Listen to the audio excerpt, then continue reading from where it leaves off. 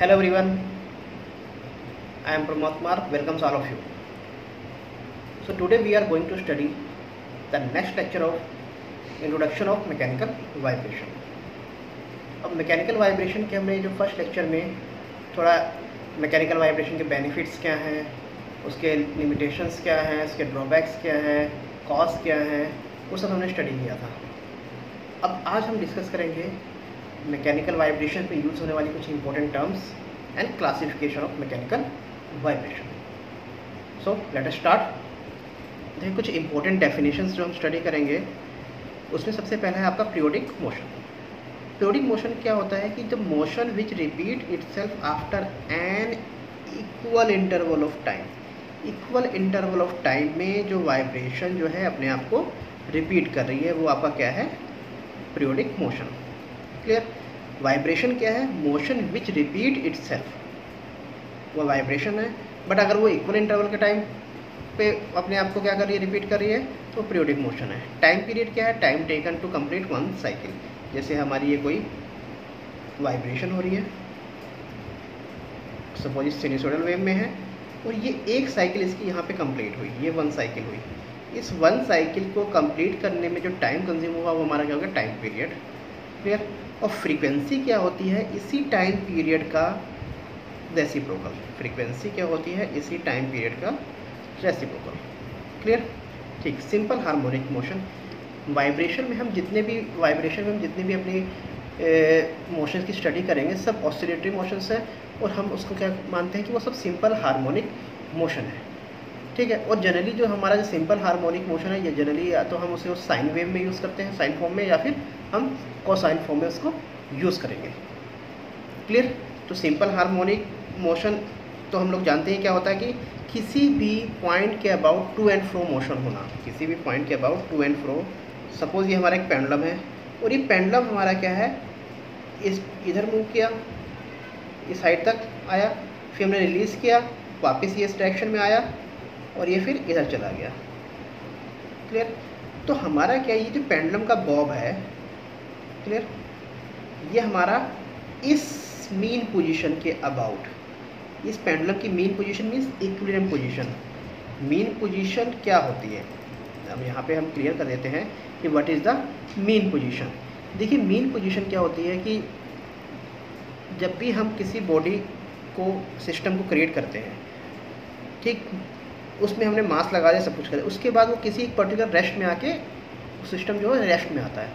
Rest में आ गया मतलब उसके बाद अब जो फोर्सेस लग रही है, चाहे वो ग्रेविटेशनल फोर्स हो, चाहे जो भी फोर्सेस लग रही हैं, उन सब फोर्सेस को वो बैलेंस कर रहा है। बैलेंसिंग कंडीशन में वो जाके जहाँ पे वो रेस्ट पोजीशन में है, उस पोजीशन में बोल देते हैं इक्विलियम या मेन पोजीशन अब इस पोजीशन के बाद जब वाइब्रेशन हमने फोर्स लगाया और वो वाइब्रेट हुई क्लियर तो वो उस मेन पोजीशन के अबाउट वाइब्रेशन लेते हैं क्लियर तो कोई भी मोशन हम पूरी वाइब्रेशन में किसी भी मोशन की स्टडी करेंगे, हम उस मीन पोजीशन के अबाउट ही उसकी स्टडी करेंगे। क्लियर तो पेंडुलम हमारा क्या है? इस मीन पोजीशन के अबाउट ऑसिलेट हो रहा है। तो ये हमारा क्या है? सिंपल हार्मोनिक मोशन ठीक? और हम कभी भी देखेंगे, जैसे आप ये पेंडुलम क्या है? जब हम इधर ले गए, इस तरफ़ लेकर जा रहे थे, इस तरफ़ क्लियर तो इसका जो बॉब है, उसकी एक्लेशन हमेशा मीन पॉइंट के अबाउट लगेगी। किसी को भी हम, किसी भी सिस्टम को हम डिस्प्लेस करेंगे, उसकी इक्विलियम पोजीशन से मेन पोजीशन से तो डिस्प्लेसमेंट किधर भी डायरेक्शन में हो, उससे हमें कोई मतलब नहीं है। डिस्प्लेसमेंट किसी भी डायरेक्शन में होता है, उसे कुछ, कोई मतलब नहीं होता है, बस ये ध्यान देना हो। वो जो बॉडी डिस्प्लेस हो रही है, उसकी एक्सलेशन मेन पोजिशन के टूवर्ड्स लगती है। क्लियर ये हमारा क्या हो जाता है? सिंपल हार्मोनिक मोशन और सिंपल हार्मोनिक मोशन को जनरली हम रिप्रेजेंट करते हैं एक्स इक्वल टू ए कोई एक एम्पलीट्यूड होगा।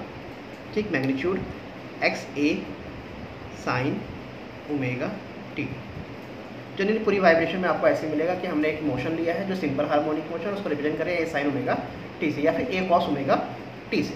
क्लियर ए इसका क्या होता है? एम्पलीट्यूड होता है, जो भी यहाँ पे डिस्प्लेसमेंट एक्स क्या है? डिस्प्लेसमेंट है ए उसका मैग्नीट्यूड है साइनिसोडल फॉर्म में मोशन हो रही है ओमेगा उसकी एंगुलर फ्रिक्वेंसी है टी उसका टाइम पीरियड है। मतलब टाइम है कि कितने टाइम से वो मूव कर रहा है। क्लियर ये हो गया हमारा simple harmonic motion phase difference ना what is phase difference suppose हमारे पास मोशन है एक्स वन एक सिंपल हार्मोनिक मोशन है x one equal to a one sine omega t suppose ये है पाई क्लियर ये पाई एंगुलर डिस्प्लेसमेंट होगी इसकी. एक्स टू सपोज़ है a two sine omega t suppose ये है पाई बाई टू अब अगर आप देखें, दोनों के बीच में एंगुलर डिफरेंस कितना है? पाई और पाई बाई टू क्लियर ये जो हमारा ए वन पहला जो एक्स वन है, ये हमारा ए वन मैग्नीट्यूड पे है और पाई जो है, उसका एंगुलर डिस्प्लेस एंगुलर उसमें है। ए टू जो है, उसके ए टू दूसरा जो मोशन हमारा एक्स टू है, उसका ए टू मैग्नीट्यूड है और इसमें पाई बाई टू है। दोनों में अगर आप देखें, दोनों का जो एंगुलर डिफरेंस है, वो पाई बाई टू है। क्लियर दोनों का एंगुलर डिफरेंस क्या पाई बाई टू इसी एंगुलर डिफरेंस को हम बोलते हैं फ़ेज़ डिफरेंस या फिर फ़ेज़ एंगल ठीक है? It is a angular difference between two rotating vectors representing S H M simple harmonic motion of same frequency clear ये तो हो जाता है हमारा फ़ेज़ डिफरेंस अब पूरी वाइब्रेशन में आगे जाके further second unit third unit में जाके जाके पढ़ेंगे, हमें फ़ेज़ एंगल्स निकालने होते हैं। फ़ेज़ एंगल ये रिप्रेजेंट करता है कि दो मोशन अगर एक ही सिस्टम में दो मोशंस हो रही हैं, तीन मोशंस हो रही है, उनका आपस में फ़ेज़ डिफरेंस क्या है? क्योंकि फ़ेज़ डिफरेंस देखना इसलिए ज़रूरी होता है, उससे हमें क्या मिलता है, उससे हमें देखते हैं बीट फिनोमनाज मिल जाते हैं। और इंटरफ्रेंस होता है तो उनका मैग्नीट्यूड कितना इंक्रीज़ करे, अगर वो मोशंस के सारे के सारे एम्पलीट्यूड एडिशन में आ जाए तो उनका मैग्नीट्यूड कितना बढ़ जाएगा, ये सब चीज़ें हमारी क्या होती है? फ़ेज़ डिफरेंस की इंपॉर्टेंस में आ जाती है। ना वट इज़ द एम्पलीट्यूड किसी भी बॉडी का वाइब्रेटिंग बॉडी की उसकी मीन पोजीशन क्या अबाउट डिस्प्लेसमेंट मैक्सिमम डिस्प्लेसमेंट कितना होगा? कि सपोज़ ये पेंडलम जो था मैक्सिमम यहीं तक डिस्प्लेस कर सकता है, इसके आगे नहीं गया। तो इसकी जो मैक्सिमम डिस्प्लेसमेंट ये थीटा उसको क्या रिप्रेजेंट कर रहा है? एक पर्टिकुलर एंगल होगा, जो भी मैग्नीट्यूड होगा, वो उसका क्या होगा? मैक्सिमम डिस्प्लेसमेंट होगा। तो जनरली अगर हम इसको वेव फॉर्म में रिप्रेजेंट करें तो ये हमारा इस तरह से अगर इसकी वेव फॉर्म जा रही है तो ये जो होगा इसका मैक्सिमम एम्पली डिस्प्लेसमेंट होगा। इसी को हम क्या बोल देते हैं?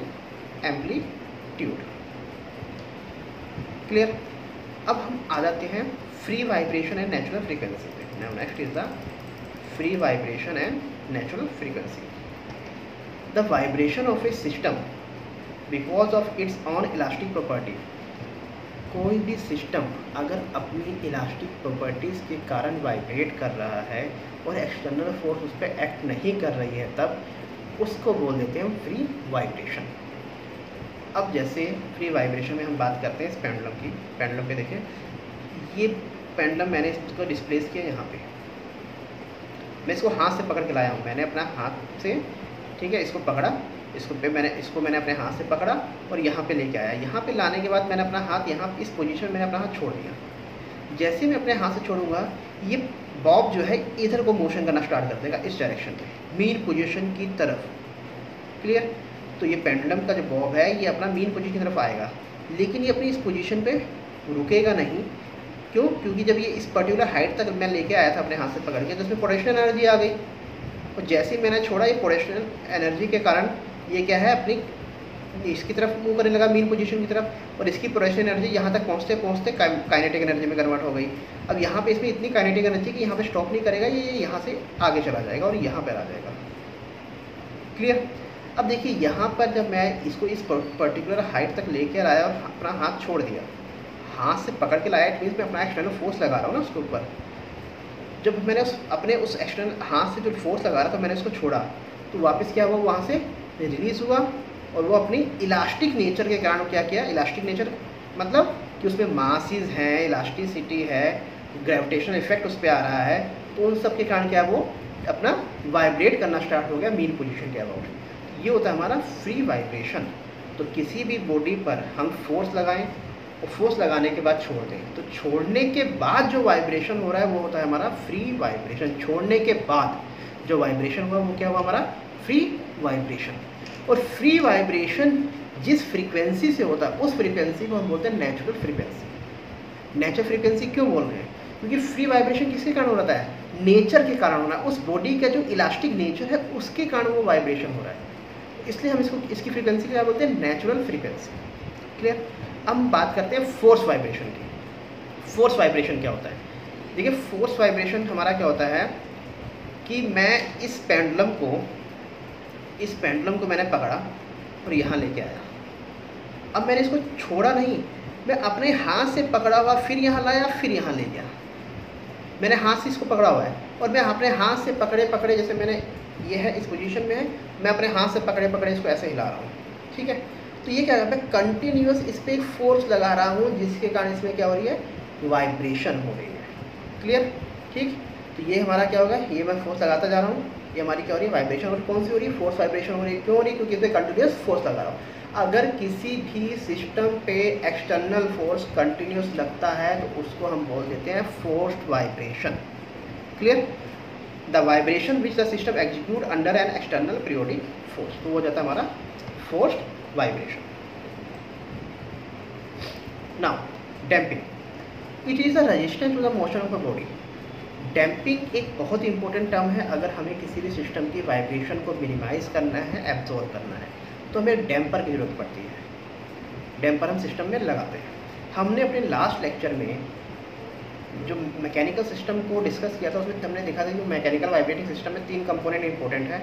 मास इलास्टिसिटी मतलब स्टिफनेस आ जाती है और क्या आ जाता है? डैम्पर डैम्पर का रोल क्या होता है? वाइब्रेशन एनर्जी को एब्जॉर्व करना। ठीक? तो damping is the resistance to the motion of the body clear अब डैम्पिंग देखिए होती क्या? डैम्पिंग कुछ नहीं होती है। हमारा क्या होता है? जैसे मैं बात करूँ, हम पेंडलम का ही एग्ज़ाम्पल लेते हैं। Pendulum is a simplest example जो जनरली हम पेंडलम का एग्ज़ाम्पल ले रहे हैं। ये पेंडलम है। मैं इसको यहाँ पे लेके आया। मैंने इस पर्टिकुलर हाथ छोड़ दिया। तो छोड़ने में इसमें फ्री वाइब्रेशन होगा। ये अपना वाइब्रेट कर रहा है। और कुछ टाइम बाद ऐसे ऐसे वाइब्रेट करते करते कुछ टाइम बाद ये अपनी मेन पोजीशन के बाद आके रेस्ट में आ जाता है। ठीक? अभी इसमें रजिस्टेंस कहाँ से मिल रहा है? क्यों रेस्ट में आ रहा है? क्योंकि इसको रजिस्टेंस मिल रहा है एयर से। तो एयर भी एक डैम्पिंग मीडियम ही प्रोवाइड करती है, ठीक? बट ये क्या है एक तरह से? फ्री वाइब्रेशन हो रही है डैम सिस्टम है, क्योंकि इसमें एक्सटर्नल बहुत एयर की डैम्पिंग जो फ्री एयर है, ठीक? फ्री एयर से जो डैम्पिंग लग रही है जनरली वो नेग्लिजिबल ही होती है, क्योंकि बहुत टाइम टेकन होता है उसको रेस्ट में आने के लिए। अब सपोज़ मैं इसी पेंडलम को एक लिक्विड मीडियम में पुटअप कर दूँ मैंने क्या किया इसको एक लिक्विड मीडियम में पुटअप कर दिया। अब मैं इस पेंडलम को यहाँ हाइट तक ले गया, छोड़ा। तो मैं छोड़ते ही देखता हूँ क्या ये यहाँ से आया, यहाँ आया, तुरंत यहाँ पे आके रेस्ट में आ गया। दो तीन ऑसिलेशन के बाद क्या आ जाता है, ये रेस्ट में आ जाता क्यों? क्योंकि अब ये जो है विस्कस मीडियम ये जो आपका विस्कस मीडियम है, ये इसको डैम्पिंग प्रोवाइड कर रहा है। डैम्पिंग क्या कर रहा है? रेजिस्टेंस प्रोवाइड कर रहा है। तो damping is the resistance to the motion of the vibrating body तो हम पूरी वाइब्रेशन में एक सिंबल यूज़ करेंगे इस तरीके से। ये क्या है हमारा? सिलेंडर पिस्टन अरेंजमेंट का एक सिंबल है और इसको हम बोल देते हैं डैम्पर इसको हम क्या बोलते हैं? डैम्पर तो जहाँ पर भी ये लगा होगा इट मीन्स क्या है? वो डैम्पिंग सिस्टम है। वहाँ पे क्या हो रहा है? वाइब्रेशन को एब्जॉर्व करने के लिए इसको लगाया गया है। तो ये होता है हमारा डैम्पिंग क्लियर ना व्हाट इज़ द रेजोनेंस देखिए, ये मेरा एक मैकेनिकल सिस्टम है वाइब्रेटिंग सिस्टम है, जिसमें एक मास है, एक स्प्रिंग स्टिफनेस है, और ये हमारा एक डैम्पर लगा जिसका डैम्पिंग कोफिशिएंट सी है। अब इस पर मैंने एक फोर्स लगाया है एफ़ सपोज़ वो फोर्स है एफ़ नॉट एक इसका magnitude sine omega t clear ये फोर्स लग रहा है।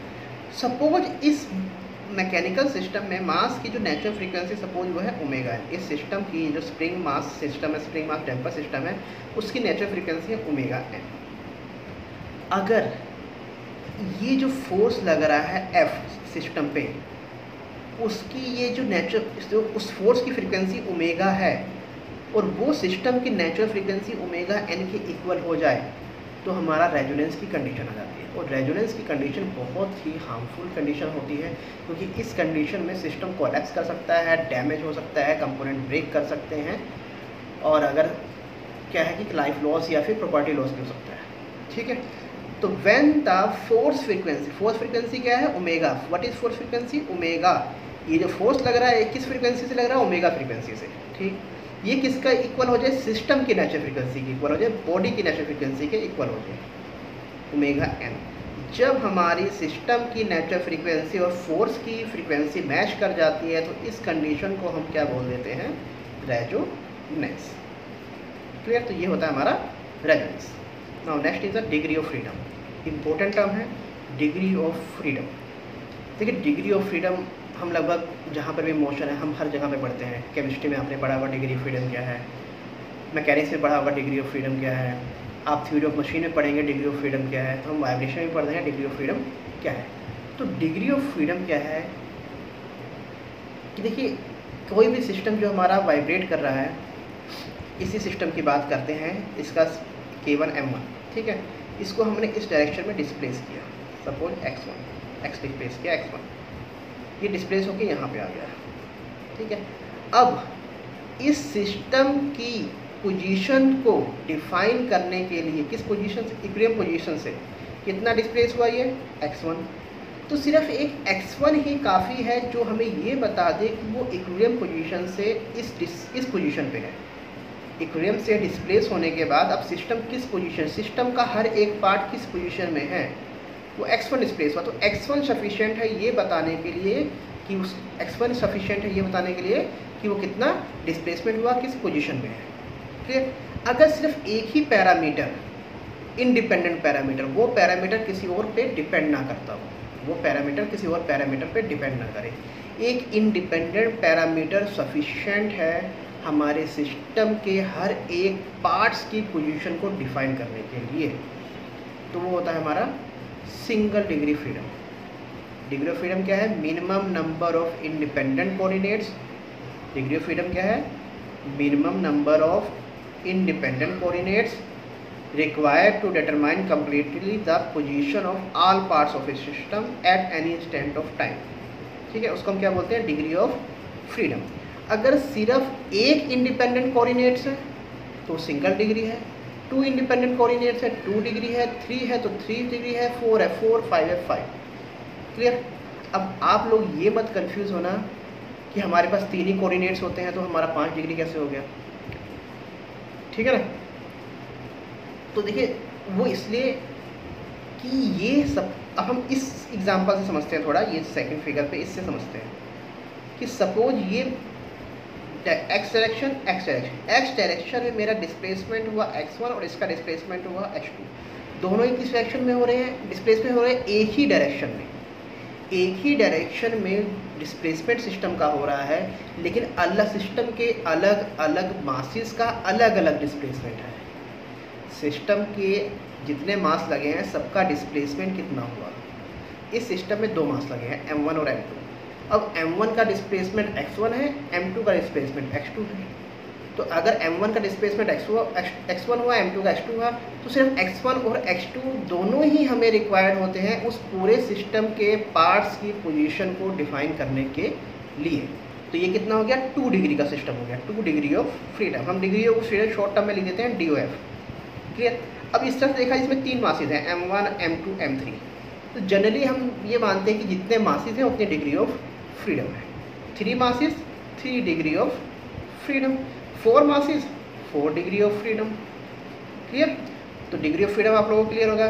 सिमिलरली अगर आप देखें पेंडलम में, ये एक ही मास है, ठीक? ये डिस्प्लेस हुआ। सिर्फ़ थीटा एंगल सफिशिएंट है ये बताने के लिए कि इसकी पोजीशन क्या है। तो ये क्या हो गया? वन डिग्री ऑफ़ फ्रीडम अब इसमें दो मासेज लगे थे, एक मास ये और एक मास ये। और दोनों का अलग अलग डिस्प्लेसमेंट हुआ, एक का थीटा वन और एक का वर्टिकल से थीटा वन इसका वर्टिकल से थीटा टू तो दो एंगल चाहिए हमें थीटा वन और थीटा टू इस सिस्टम की कन्फिग्रेशन को बता, बताने के लिए। तो ये कितना हो गया? टू डिग्री ऑफ़ फ्रीडम हो गया। क्लियर तो हमें ये क्या हो गया? टू डिग्री फ्रीडम सिस्टम हो गया। तो ये हो गया हमारा डिग्री ऑफ़ फ्रीडम तो डिग्री ऑफ़ फ्रीडम क्या है? Number of independent coordinates to define the position of the all parts of the system okay, now next is the continuous and discrete system continuous को हम distributed भी बोलते हैं और discrete को हम लम सिस्टम भी बोलते हैं। ठीक? अगर किसी भी सिस्टम का इनफाइनाइट डिग्री ऑफ़ फ्रीडम है, किसी भी सिस्टम की इनफाइनाइट डिग्री ऑफ़ फ्रीडम है तो उसको हम बोलते हैं कंटिन्यूस एंड डिस्क्रीट सिस्टम जैसे हमारा कैंटिलीवर ये हमारा कैंटिलीवर है। अब हम देखें कैंटिलीवर के हर एक पॉइंट का अलग अलग मासिस है। अब इस कैंटिलीवर पे जब हम फोर्स लगाए सपोज़ हमने ये फोर्स लगाया तो उसके कारण ये डिस्प्लेस हुआ। यहाँ पे डिस्प्लेस हो गया आया। अब अगर आपके, देखिए, इसके हर एक पार्ट का एंगल अलग होगा। सपोज़ इसका एंगल क्या है? थीटा थीटा वन है। इस पॉइंट का एंगल सपोज़ थीटा टू है। इस पार्ट का एंगल थीटा थ्री है। इसका एंगल थीटा फोर है तो हर एक पॉइंट का जो एंगुलर डिस्प्लेसमेंट हुआ है उसके मेन पोजीशन से, वो अलग अलग है। तो ये क्या है तरह से इनफाइनाइट डिग्री ऑफ़ फ्रीडम है, क्योंकि इनफाइन एक कैंटिलीवर की लेंथ में इनफाइनाइट पॉइंट्स होंगे इनफाइनाइट हर पॉइंट का अलग अलग मास होगा तो उसका क्या होगा, वो इनफाइनाइट डिग्री होगा। तो mechanical system which have infinite degree of freedom are known as continuous system और इसका हम डिस्ट्रीब्यूटिव सिस्टम भी बोलते हैं, क्योंकि हर पॉइंट क्या है डिस्ट्रीब्यूटेड है। या डिस्क्रीट एंड लम सिस्टम अगर हम ये माने कि सारा का सारा मास एक ही जगह पे लग रहा है, एक ही। अगर हम माने कि कैंटिलीवर का पूरा का पूरा मास एक ही है अलग अलग मास नहीं है और अलग डिस्प्लेसमेंट नहीं है तो उसको क्या मानेंगे हम? क्या है ये? डिस्क्रीट सिस्टम और डम्प सिस्टम है। उस केस में उसका जो डिग्री ऑफ़ फ्रीडम क्या होगा? फाइनाइट होगा मतलब one two three four five something होगा। ठीक? तो वह जगह हमारा डिस्क्रीट और लम सिस्टम जैसे हमारा spring mass system pendulum system हम इसमें मानते हैं कि हमारा क्या है? डिस्क्रीट और लम सिस्टम है। Classification of vibration generally vibration system को हम सिक्स टाइप्स में क्लासीफाई करते हैं. Number one free and force vibration free and force vibration दूसरा है हमारा damped and undamped. Third one is the steady and transient. Fourth one is the linear and non-linear. फिर deterministic and random then longitudinal, transverse and torsional vibration इसको हम one by one देखते हैं. Free and force free and force just अभी हमने देखा कि free क्या है? जब सिस्टम पे हमने फोर्स लगाया और फोर्स को छोड़ दिया छोड़ने के बाद जो वाइब्रेशन हो रही है, वो हमारी फ्री वाइब्रेशन है। लेकिन अगर फोर्स को कंटिन्यूसली लगा के रख तो वो हमारी क्या हो जाएगी? फोर्स वाइब्रेशन हो जाएगी। क्लियर डैम्प एंड अनडैम्प क्या होता है? अगर किसी भी सिस्टम में डैम्पर लगाया, जैसे सपोज़ ये है मेरा स्प्रिंग और ये है मास इसमें कोई डैम्पर नहीं है। तो ये है मेरा अनडैम्प्ड अनडैम्प्ड मतलब इसको रजिस्टेंस टू मोशन नहीं मिल रहा है। वो नेचर के कारण मिल रहा है एयर से। अदरवाइज़ को नहीं मिल रहा है। ठीक, दूसरा, अगर मैंने इसमें ये लगा दिया डैम्पर इस स्प्रिंग मास सिस्टम में तो ये क्या हो जाएगा मेरा डैम सिस्टम की एक डैम्पर लगा अगर हम कोई भी विस्कस मीडियम या कोई भी एक्सटर्नल मीडियम इसमें फिट कर रहे हैं, जो उसकी वाइब्रेशन को एब्जॉर्व कर रहा है, उसको रजिस्टर प्रोवाइड कर रहा है, उसके मोशन को तो हम बोल देते हैं उसको डैम सिस्टम। तो एक हो गया हमारा फ्री एंड फोर्स दूसरा हो गया हमारा डैम्प एंड अनडैम सिस्टम फिर होता है हमारा स्टीडी एंड ट्रांजिएंट वाइब्रेशन देखिए, स्टीडी एंड ट्रांजिएंट वाइब्रेशन में क्या होता है कि सपोज़ हमारा ये वाइब्रेशन है, ये वाइब्रेशन गया गया गया, चलता गया और कुछ टाइम बाद ये क्या हो गया फ्रिश हो गया। कुछ टाइम बाद क्या हो गया, ये डाई आउट हो गया वाइब्रेशन। तो सपोज़ ये टाइम की स्केल थी, ये हमारी डिस्प्लेसमेंट की स्केल थी। अगर पर्टिकुलर कुछ फाइनाइट टाइम के बाद, पर्टिकुलर टाइम के बाद वाइब्रेशन ख़त्म हो जाती है नील हो जाती है नेग्लिजिबल हो जाती है, उसको हम बोलते हैं ट्रांजिएंट वाइब्रेशन तो ट्रांजिएंट टर्म जहाँ भी आए, आप बस ये समझिए कि टाइम डिपेंडेंट है। क्लियर स्टीडी स्टेट क्या होता है? स्टीडी वाइब्रेशन क्या होती है? कि वो टाइम पे डिपेंड ही नहीं करते, वो इनफाइनाइट टाइम पे जाके रेस्ट में आएगा, चलती जाएगी, ऐसे चलती जाएगी चलती जाएगी, और इनफाइनाइट टाइम पे जाके वो रेस्ट में आएगी। तो ये हो जाता है हमारा स्टीडी स्टेट वाइब्रेशन ये क्या हो जाता है हमारा? Steady state and non linear vibration linear and non linear vibration देखिए लीनियर क्या है? लीनियर जो है हमारा सपोज़ ये मेरा एक स्प्रिंग मास है। मैं इसको डिस्प्लेस किया हूँ बहुत नीचे तक। खींचता गया खींचता गया, खींच खींच के मैं इसको यहाँ नीचे तक ले आया। अब जैसे ही मैं इसको छोड़ूँगा फोर्स को हटाऊँगा तो हमारी फ्री वाइब्रेशन होगी। बट ये मास जो है मेरा कैसे जाएगा? ऐसे लहराते लहराते वापस जाएगा। हिलते हुए। ठीक है? मैं क्या किया? इस पोजीशन से मैं इसको नीचे लेके आया, मास को। नीचे लेके आया, मैंने छोड़ा। जैसे मैं छोड़ूँगा तो ऐसे ऐसे वापस जाएगा ये। ठीक? ये क्या मेरा non linear motion linear motion नहीं है। ठीक? लेकिन अगर मैं इसको थोड़ा सा नीचे लेके आऊँ और छोड़ूँ तो ये ऐसे सीधा वापस जाएगा। एक इसी एक्सिस के बाद वापस चला जाएगा। ये मेरी लीनियर वाइब्रेशन तो नॉन लीनियर और लीनियर वाइब्रेशन क्या है? लीनियर में क्या होता है? वो स्मॉल डिस्प्लेसमेंट पर रिस्पॉन्स करता है। नॉन लीनियर में हमारा अगर हमने डिस्प्लेस ज़्यादा कर दिया है तो क्या होगा? एकदम से क्या है? जिग जैक पाथ को फॉलो करते हुए अपने ओरिजिनल पोजीशन में आएगा ये क्या जाता है हमारा? नॉन लीनियर वाइब्रेशन तो हमारी पूरी की पूरी वाइब्रेशन हम लोग लीनियर मोशन की ही स्टडी करेंगे। Non linear non linear motion की जो स्टडी थोड़ा टफ होती है इसलिए हम यहाँ पे आपके सिलेबस में सिर्फ़ क्या है? लीनियर तक ही हम स्कोप में हमारे। फिर आ जाता है हमारा deterministic and random vibration deterministic vibration क्या होती है कि जो वाइब्रेशन को हम एक पर्टिकुलर टाइम पे ये पता कर ले कि हाँ इसका एम्पलीट्यूड इतना है मैग्नीट्यूड इतना है वेलोसिटी ये है एक्सलेशन किसी पर्टिकुलर टाइम पे हमें पता चल जाए इसके पैरामीटर्स वो हमारी डिटर्मिनिस्टिक वाइब्रेशन सपोज़ जैसे हमारा मोशन ऐसे हो रहा है। हम देख सकते हैं इस पर्टिकुलर टाइम पे, इसका, इस पॉइंट पे, इसकी डिस्प्लेसमेंट क्या होगी, इसकी वेलोसिटी क्या होगी, इसकी एक्सलेशन क्या होगी, इसको हम पता कर सकते हैं। तो ये हमारी डिटर्मिनिस्टिक वाइब्रेशन है। बट रैंडम में क्या होता है? रैंडम वाइब्रेशन हमारी इस तरह से होती है, ऐसे कहीं कुछ पता नहीं चलता कहाँ जा रही है। अब किसी पर्टिकुलर टाइम पे हमें क्या उसका डिस्प्लेसमेंट एक्सलेशन मैग्नीट्यूड है, हमें कुछ पता नहीं चल रहा है। ठीक है? तो ये हमारी क्या हो जाती है? रैंडम और ये क्या हो जाती है हमारी? डिटर्मिनिस्टिक क्लियर तो deterministic and random vibration now last one is the longitudinal torsional and transverse vibration देखिए सपोज़ लॉन्गिट्यूडल वाइब्रेशन क्या होता है कि ये मेरा एक स्प्रिंग मास सिस्टम है, ये हमारा एक स्प्रिंग मास सिस्टम है। और जब ये स्प्रिंग को मास को मैंने नीचे की तरफ़ लेके आया तो ये इसी एक्सिस को फॉलो कर रही है मास और ये वापस भी इसी डायरेक्शन में जाएगी। मतलब इस तरह से इसी एक्सिस की डायरेक्शन में इसका मोशन हो रहा है।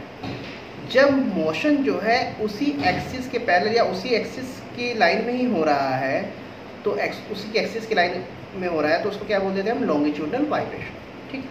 बट सपोज़ ये मेरा पेंडलम है। मैंने इसको इधर डिस्प्लेस कर दिया। ठीक है? जब मैंने इसको इधर डिस्प्लेस किया तो हम देखते हैं हमने एक्सिस को डिस्प्लेस कर दिया। ओरिजिनल एक्सिस ये थी, अब एक्सिस ये है। एक्सिस को हमने एंगुलरी शिफ्ट कर दिया। एक्सिस को एंगुलरी शिफ्ट किया है। ठीक है? तो ये हमारी क्या ट्रांसवर्स वाइब्रेशन है। जनरली जितनी हमारी बीम्स होती है सपोज़ ये कैंटिलीवर है। कैंटिलीवर मेरी डिस्प्लेस होकर ऐसे आएगी। क्लियर तो क्या वो हमारा? कैंटिलीवर के पहले एक्सिस ऐसे था, अब इसका एक्सिस ऐसे है। एक्सिस को मैंने डिस्प्लेस कर दिया। ठीक है? अब जब एक्सिस डिस्प्लेस हो गया हमारी ट्रांसवर्स वाइब्रेशन होगी फिर आता है हमारा टॉर्शनल वाइब्रेशन टॉर्शनल वाइब्रेशन हमारा जहाँ पे शाफ्ट लगी होती है, वहाँ पर टॉर्शनल वाइब्रेशन होता है। सपोज़ ये एक शाफ्ट लगी है और इसके नीचे एक पुली लगी हुई है, या डिस्क लगी हुई है। क्लियर तो इसको हमने क्या ऐसे रोटेशन दे दिया इसको हमने क्या क्या? रोटेट कर दिया। तो ये शाफ्ट मेरी क्या होगी जैसे सपोज़ ये हमने यहाँ पर शाफ्ट को पकड़ा और उसके नीचे ये लगा है डिस्क इस डिस्क को मैं ऐसे रोटेशन दे रहा हूँ। तो ये शाफ्ट भी तो मेरी ट्विस्ट होगी। शाफ्ट भी क्या होगी? ट्विस्ट होगी, या डिस्क भी मेरी रोटेट करेगी। हाँ अगर हमने यहाँ शाफ्ट को यहाँ पे बेरिंग में फिक्स किया है, यहाँ पे बेरिंग साथ फिक्स है शाफ्ट रोटेट हो रही है। ट्विस्ट नहीं हो रही, तब शाफ्ट क्या हो रही है? रोटेट हो रही है। हमारा डिस्क भी क्या रोटेट हो रहा है? क्लियर तो इस टाइप के रोटेशनल में एक्सिस देखिए एक्सिस उसी पोजीशन पे है।